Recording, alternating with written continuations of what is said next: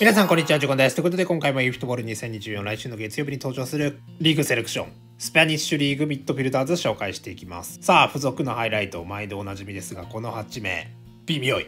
まあ、メンツ個人個人としてはね、強い選手もいるんですけど、微妙ですね。で、パウルとペドリがメッシパックについてますからね。一応今回のエピックがこの3名と言われていて、まあこの形で来ると思いますね。シャビデコグティ呼びやすい。グティがスーパーサブ持ってるっぽいんで注目なんですけど OMF なので上限あんまり高くないんじゃないかなと気になってますね。あとの2人はプレメです。実際のものはね月曜日見ていきましょう、まあ、初 FP は3名いるんですけど圧倒的に先週のような個性はちょっと少なめでしたね。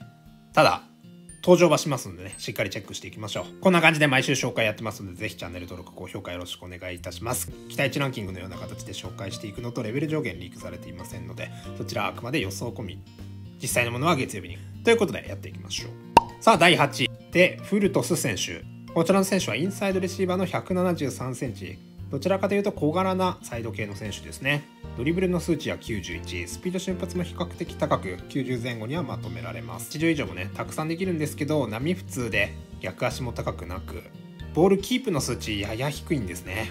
極めつけはサイドハーフ限定。ウィング限定ってよく見ますけど、サイドハーフ限定あんまり見ませんね。442とか352とかサイドハーフがあるね、フォーメーションを使ってる方しか使えません。あと、極めつけはスキルが少なすぎますね。悪くはないですが、少ないです。さあ、続いてアジョテ・ペレス選手。こちらもね、インサイドレシーバー持ちなんですけど、179センチ。サイドハーフ限定ではなくて、CF、ST なんかもできる。攻撃的なサイドハーフですね。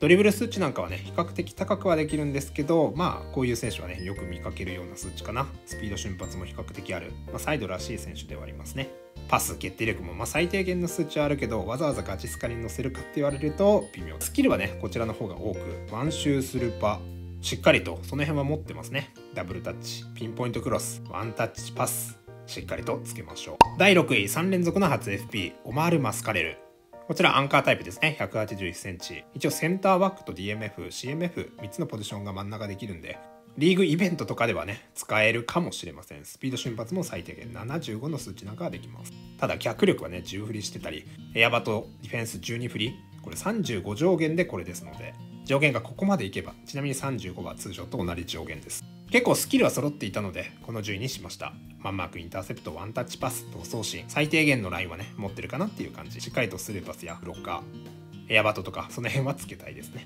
さあ、第5位、3セットですね。割と強化度も高く今回瞬発がトップ強化になっています。ドリブルとかは数値しっかりと90以上にまとめられグランダーパスも結構高いんですよね。7振ってあげると85得点力なんかも持ち合わせる選手で188の2列目からの飛び出し、まあ、逆足が高い以上だったりスピード瞬発がもうちょっとあるといいですけどフィジカル72全然振ってなくてもフィジカルの強さなんかは魅力かな。まあ懸念点はスキルがちょっと少ないんですけど悪くはない。シュート系とパス系と最低限を揃えてる感じ。圧倒的にいいとは言えませんが何個か追加するだけでいいっていうのは助かる部分。ちなみに週刊 FP が出てますがこちらとの比較はこんな感じ。さすがに叶うわけがないので乗り換える必要はないでしょう。ちなみにスキルでいうと今回スルーパスがアップデートか何かでついたんですかね。アクロバティックシュート時空ラーライジングがなくなってまあスキル追加込みで考えてもさすがにこの能力にはかなわないかな。さあ続いて第4位はビジャレアルからの登場ダニ・パレホですね。安定のプレーメーカーで足元パス回りはねかなり安定した数値できますし完成されてますよね。あとはキック力92こちらが魅力になっていて、まあ、決定力はね72程度なんですけどこのキック力で打ち抜くことができるのは魅力かなと思います。スタミナは86結構最低ラインのね数値はちょっと多めかな。ピルロモドリッチ。このポジションのプレーメーカー結構激戦区なので割って入れるかは手持ち次第です。まあ、あとはスキル、パス系中心にしっかりと揃えられてて、ピンポイントクロスなども持ってます。ダブルタッチも持ってるので、まあ、追加するならシュートかディフェンスかどっちかですね。過去の FP で言うとこれだけ出てる。今回5回目ですね。上2つはフィーチャーなので、問答無用で乗り換え。その他で言うと、リーグガチャのこのバージョン、上限30ですね。適性がサイドハーフとかがね、削られています。ちょっと能力が落ち気味なので、これ越すには本当に上限35くらい欲しいです。投票 FP、ポジションがね、ごっそり持っていかれてます。こちらも35上限ぐらい欲しいです。過去のものと比べると過去の方が強そう。続いて第3位ですね。レアルからカマビンガです。まあ、こちらの選手上限は32としたんですけど、足元パスはもう振る必要ないかなと思って0です。逆にディフェンスとか、まあ、サイドバックでね、使う方はね、スピード瞬発とか、そっちにも振り込んじゃっていいのかなって思いますね。中途半端に足元とか上げちゃうとほんと中途半端な選手になってしまってライバルに勝てる気がしません中盤の低めの位置で使うなら守備能力上げたりサイドバックで使うならスピード瞬発しっかりと上げたり。もともと足元なんかはね初期から割と高めではあるんで中盤の位置とかで使ってあげるとより輝けそうな選手かな。スキルはこんな感じ。まあどちらにしろ何個か追加しないといけません。スルーパスはパス系欲しいですしマンマークブロッカー闘争心もないですね。過去のカマビンが全て28上限みたいですね。わかりやすい。まずはレアル CS 適正でサイドバックがね追加になっているので、まあ、そこで使いたい方は乗り換えましょう。スキルヒールトリックがなんか追加になってます。能力自体はまあいい勝負。ちょっとぐらい低くても27とか26とかでもトータル含めたら強くなるかもしれません。続いてダービー。こちらも同じくですね。適正とスキル。基本的には同じことが言えそうでそしてもう一つのレアル CS 一応適性がね左サイドバック薄いの追加になってますけど本適性がある今回の方がこの辺は強みかな。こちらも同じぐらいの上限は欲しい。こちらはね適性は同じですね。スキルの違いでヒールトリックが出ているぐらい上限は同じぐらい欲しいです。さあ続いて第2位はデパウルですね。今回瞬発トップ強化ということでそこを意識して90の数値なんかを作ってみました。足元パスはもちろんのことスピード瞬発足も結構速いですね。180cm の2列目。キック力スタミナこの辺もねバリバリに強化できますのでこの育成もなかなか良さそうです。守備は一切振ってませんし得点力決定力は70と。もう一歩その辺がね伸びてくると圧倒的なんですけどね。あとはスキルですね。相変わらずワンパワーつきませんしワンシューも持ってません。その辺の2つのスキルっていうのは追加したいし他にももし CMF とかで使うなら守備系つけたり。キック力90あるんでミドルシュートとかつけてもいいかも。さあいっぱい出ているハイライト。こちらが31上限のアルゼンチンパック。まあ期間考慮の乗り換えぐらいにはなるかな。上限は同じぐらいは欲しくなりますかね。そしてシャイニングスターこちらはボックス2ボックス版になっているので、まあ、プレイスタイルの好みで基本は選んでいいでしょう。そしてクラブセレクションがこちら28上限。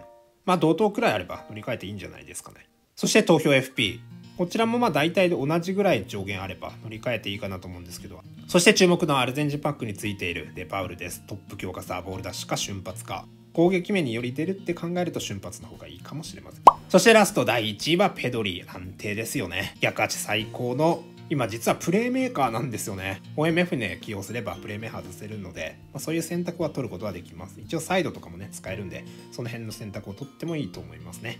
足元パスに関しては言うことない一級品の数値。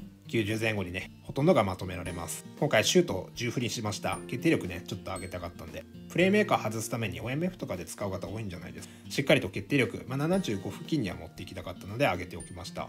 で逆にね守備面上げなくてよかったんですけどね。6振っちゃってますね。守備を意識するならこれぐらい振ってもいいですけどいらないので他のものにね振っちゃってもいいかもしれません。最低限のスピード瞬発85付近にやっぱスタミナがねこういうタイプとしては珍しくかなり高いですね。94CMF でプレイメーカー発動させるなら守備面もさっきのように上げておいた方がいいかも。相変わらずの優秀スキルは持ってます。ワンパピンプロ。スルーパー足裏ダブルタッチミドルシュート。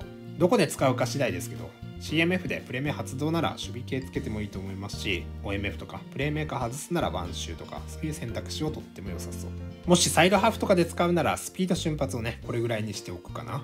そして過去バージョンとの比較なんですけど、まあ、全てのバージョンチャンスメーカーになってるんでプレイスタイルどちらが好みかで選んだんでいいと思います。基本的にはね能力もそんなに違いないんですよ。なので条件同じぐらいであれば基本はプレイスタイルで選んでいいと思います。まあ好みの差ですね。はい。えー、大体ね、こんな差しかありますね。これはやや差が大きいですね。若干マイナスの方が多めになっている。期間かなり経ってると思いますけど、29上限。まあ、30上限は欲しいかな。メッシュパックについてくるペドリ。トップ強化差ですね。まあ、スピード取るか、オフェンスセンスを取るか、そしてプレイスタイルはどちらが好きか。あとはバルセロナの監督パックですかね。こちらも基本的にはプレイスタイルの違いと、トップ強化はさっきと同じです。まあ、どちらがいいかの判断はい、えー、ということでね、え、来週の月曜日登場しますので、引くという方はコインをしっかり残しておきましょう。先週よりはエピック豪華なので、もしかしたらね、引くかもしれません。副産物としてね、得られるかもしれませんので、ぜひチェックしておきましょう。こちらのチャンネル、リフトボール情報を随時紹介してます。このように毎週紹介やってますので、ぜひチャンネル登録、高評価のね、またご覧ください。ではまた。